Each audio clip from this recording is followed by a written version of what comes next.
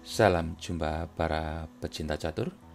Jumpa lagi dengan saya Swaji dan kali ini akan kita bahas sebuah permainan yang sulit dipercaya.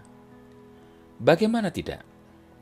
Untuk memperoleh kemenangan, Adolf Anderson mengorbankan menteri, dua benteng, plus gajah. Sementara perwira-perwira lawan masih utuh dan lengkap. Partai yang super indah ini dimainkan di London pada tanggal 21 Juni 1851, di mana Adolf Anderson yang pegang putih berhadapan dengan Lionel Adalbert Bagresenfeld. Mari langsung kita simak partai yang spektakuler ini. Adolf Anderson mengawali permainan dengan pion E4 dan Lionel Adalbert Bagresenfeld membelas dengan pion E5. Dan setelah pion F4, tampaklah pembukaan Hindia Raja. Pion pukul pion F4. Langkah sederhana kuda F3 adalah lanjutan yang paling populer. Sebuah pengembangan kuda dan sekaligus menjaga peta lemah H4 yang ditarget Menteri Hitam. Namun ini adalah Adolf Anderson yang suka bermain tajam dan penuh komplikasi. Kali ini dia bermain api dengan langkah gajah simpat. Variasi yang kurang begitu populer, namun sangat tajam dan penuh komplikasi. Dan permainan berlanjut dengan Menteri H4 sekak. Raja F1, pion B5 untuk mengusik gajah C4 yang memelototi pion penting F7. Gajah pukul pion B5, kuda F6, kuda F3, menteri H6. Posisi ini juga pernah terjadi pada partainya Nicholson saat berhadapan dengan Gary Kasparov pada turnamen London Rapid babak 3 tahun 1993, yang mana Nicholson melanjutkan dengan kuda C3. Dan Gary Kasparov menjawab dengan pion G5. Dan permainan berhasil dimenangkan Nicholson setelah langkah ke-15. Namun pada permainan ini, putih rupanya lebih suka melanjutkan dengan pion D3 dan hitam membalas dengan kuda H5.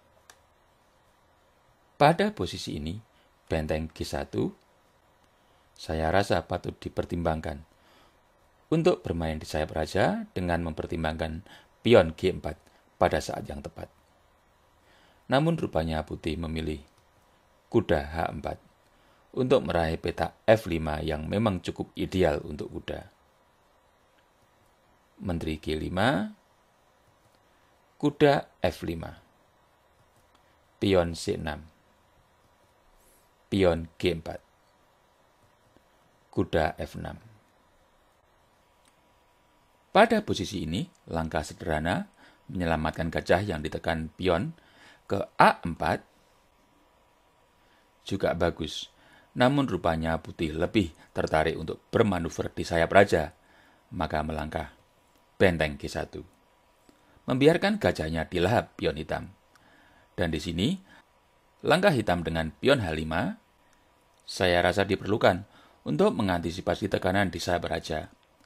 Namun rupanya hitam lebih tertarik dengan gajah yang gratis, maka melangkah pion pukul gajah B5.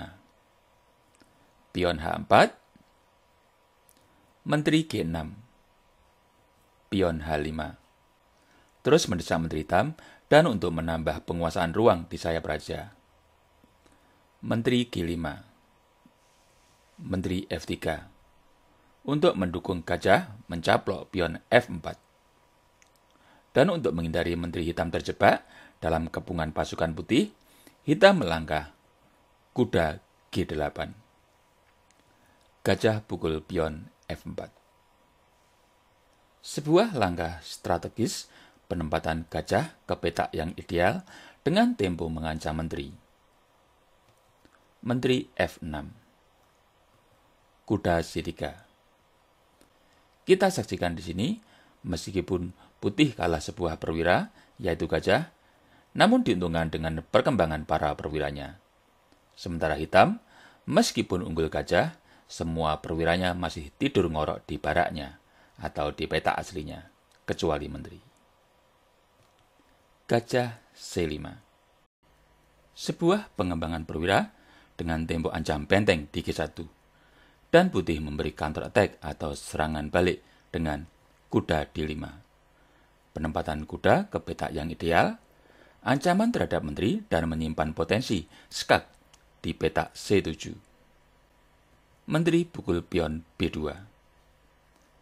Walaupun langkah sederhana dengan benteng E1 juga memungkinkan, namun Anderson yang dikenal dengan suka langkah-langkah taktis, memilih langkah yang penuh komplikasi dengan gajah D6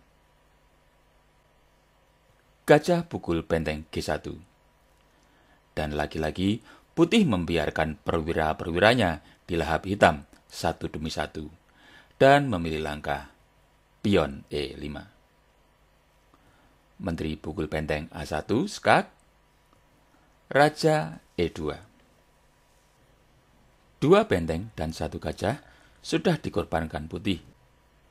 Namun Raja Hitam dalam kondisi kepungan perwira-perwira putih. Pertanyaannya adalah, mampukah hitam menetralkan tekanan putih dan membalik keadaan? Atau harus menghadapi kenyataan pahit rajanya kena skakmat? Dan di sini, saya rasa gajah hitam ke A6 sedikit memberi harapan bagi Raja Hitam untuk bisa meloloskan diri dari serbuan pasukan putih yang sudah dalam kondisi siap sedia. Namun rupanya hitam memilih kuda A6 dan putih pun mulai melancarkan aksinya dengan kuda pukul pion G7 skak. Raja D8 Dan saya rasa sekarang waktunya bagi pecinta catur menebak langkah Adolf Andersen untuk memetik kemenangan dalam partai ini setelah memberi beberapa pengorbanan para perwiranya. Silahkan di post videonya bila perlu waktu tambahan. Baiklah, saya kira jawabannya sudah ditemukan. Jawaban dari Anderson yang memaksa Raja Hitam tidak berkutik adalah Menteri F6 Skak. Lagi-lagi, Putih membiarkan menterinya jadi korban kuda hitam. Dan setelah kuda pukul menteri di F6, Putih mengakhiri permainannya yang tidak hanya sangat cantik, tapi juga super fantastis dengan langkah gajah E7 skakmat. Sungguh sebuah permainan yang brilian dari Adolf Andersen. Demikianlah para pecinta catur, video ulasan partai dari Adolf Andersen yang diwarnai dengan pengorbanan-pengorbanan perwira-perwira besarnya saat berhadapan dengan Lionel Adalbert Bagresenfeld pada turnamen di London tanggal 21 Juni 1851. Seperti biasa, saya berharap video ini bisa bermanfaat bagi pecinta catur semuanya. Dan bagi yang ingin mendukung video channel ini, cukup klik tanda like atau jempol ke atas agar kualitas video ini semakin meningkat. Dan kita akan berjumpa lagi dalam video ulasan catur selanjutnya. Sampai jumpa.